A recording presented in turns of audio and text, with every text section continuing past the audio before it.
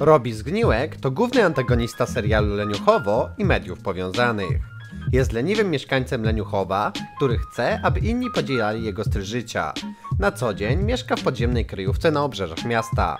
Często on jednak opuszcza, aby wcielać w życie kolejne plany wymierzone przeciw Sportakusowi, a których celem jest wypędzenie bohatera z miasta i rozleniwienie mieszkańców. W rolę Robiego wcielił się Stefan Karl Stefansson, zaś w polskiej wersji użyczył mu głosu Jakub Szydłowski. Postać Robiego Zgniłka wywodzi się z islandzkiego pierwowzoru i występującej tam postaci Glaniego Przestępcy. Do potrzeb powstającego serialu stworzono postać zbliżoną do obecnej, z drobnymi różnicami. Miał bardziej wyrazisty podbródek, zwykłe włosy oraz tło historyczne.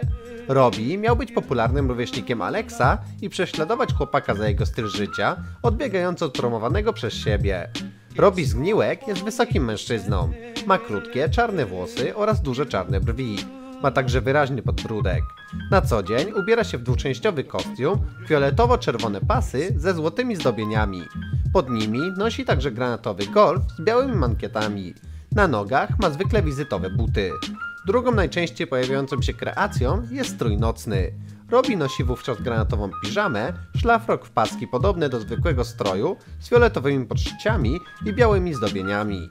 Na głowie nosi szlafmycę w pasującym wzorze oraz opaskę na oczy do spania. Nosi też czarne kapcie. Charakterystyczne dla Robiego są przebrania. W niemal każdym odcinku używa innego, które często zmieniają go nie do poznania. Robi jest osobą ceniącą sobie wygodę i lenistwo. Paradoksalnie jest w stanie być bardzo aktywny tylko po to, aby to osiągnąć.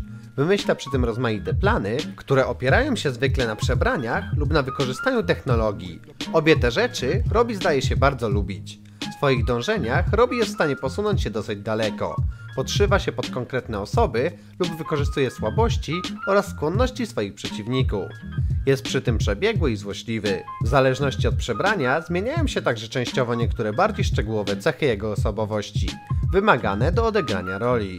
Swoje tożsamości nazywa czasami w nawiązaniu do swojego przydomka, tak jak na przykład doktora z Steina. Jest dosyć dziecinny i momentami zachowuje się mocno niedojrzale. Krzyczy i tupie, kiedy coś mu nie wychodzi. Przesadnie reaguje w niektórych sytuacjach, na przykład gdy się czegoś boi. Jego motywacje do działań bywają niekiedy wręcz absurdalne. Sprowadzają się zwykle do głośniejszego zachowania dzieci, potęgowanego dodatkowo przez głośniki oraz alarm. Robi ma problemy ze stosunkami międzyludzkimi. O ile w przebraniach jego charakter jest często otwarty i chętnie wchodzi w interakcje z innymi, o tyle gdy zostanie zdemaskowany lub po prostu postawiony w sytuacji codziennej, niezwiązany z jakimś planem, jest wyraźnie zakłopotany oraz zawstydzony i nie wie co ma robić. W przypadku ujawnienia przebrania często pośpiesznie ucieka z miejsca zdarzenia. Pomimo swojego negatywnego usposobienia oraz złych zachowań, Robi ma także dobrą stronę. Jest wrażliwy oraz cieszy się, gdy ktoś o nim dobrze mówi. Określa sam siebie jako mistrz kamuflażu. Nie tylko lubi się przebierać, ale też umie to robić. Posiada w tym celu specjalną maszynę, ale potrafi zmieniać kostium również bez jej pomocy. Przebraniach jest bardzo przekonujący i potrafi zwieść nawet bardzo czujne osoby. Zwykle zostaje zdemaskowany wyłącznie w wyniku własnej pomyłki prowadzącej do odpadnięcia części kostiumu. Pomimo braku formalnej edukacji, Robi zna się na maszynach oraz technologiach. Potrafi je konstruować oraz się nimi posługiwać. Zasięg złożoności i zastosowanie jego wynalazków jest bardzo szeroki. Od zwyczajnych jak armata czy spychacz, przez zdalne sterowane buty, aż po niezwykłe, jak wehikuł czasu czy maszyna odmładzająca.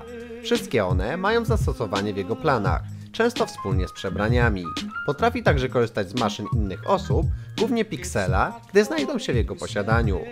Robi ma także inne, mniej okazywane zdolności. Potrafi rzeźbić w kamieniu, umie także tańczyć. Podstawową słabością Robiego, związaną z jego stylem życia, jest generalne rozleniwienie oraz brak energii.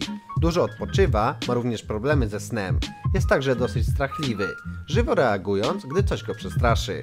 W sposób szczególny boi się ciemności, a także ma lęk wysokości.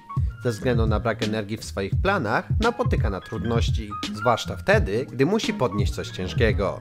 Większy wysiłek fizyczny powoduje u niego bóle różnych części ciała. Ponadto ma problemy z podstawową arytmetyką. Bardzo często powtarza frazy na zawsze, nieważne, mówi również pora na przebranie lub czas na kamuflaż. O jakiej postaci chciałbyś kolejny odcinek? Koniecznie daj znać w komentarzu. A jeżeli dotrwałeś do końca materiału, to zostaw komentarz o treści zgniłek.